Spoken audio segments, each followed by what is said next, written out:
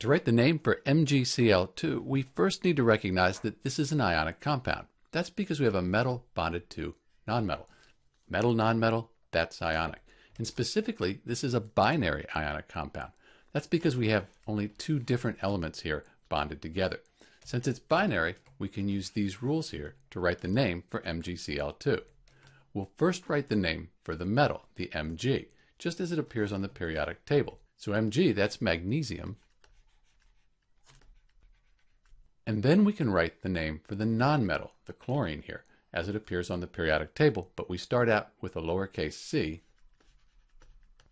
And then we replace the ending with IDE. So the INE, that becomes IDE. So the name for MgCl2 is magnesium chloride. If you were given the name and asked the formula, you'd have to realize that magnesium's in group 2 on the periodic table. It forms 2 plus ions when it bonds.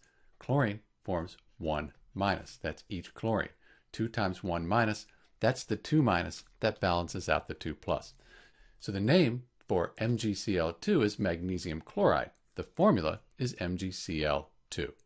This is Dr. B, and thanks for watching.